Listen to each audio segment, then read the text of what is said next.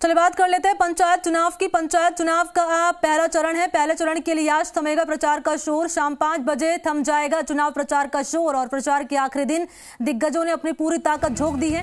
BJP Congress के दिग्गजों ने संभाला है चुनावी मैदान। ये बड़ी खबर।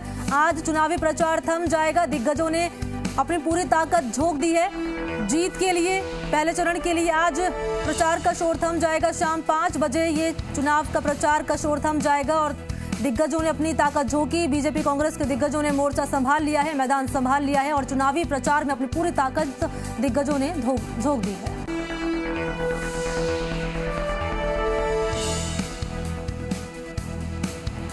तो 26 अगस्त से चुनाव शुरू हो जाएगा पहले चरण का और उससे पहले चुनावी प्रचार थम जाएगा शाम पाँच बजे। दिग्गज चुनावी मैदान में उतरे हुए हैं और पूरी ताकत दिग्गजों ने झोंक दी।